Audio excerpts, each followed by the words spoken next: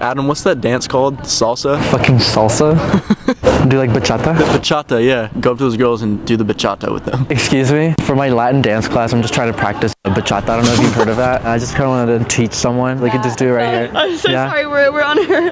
It's only two steps. It's literally like two steps to the right to the left, just for. Please, please. Please, I'm on my knees. Like, please.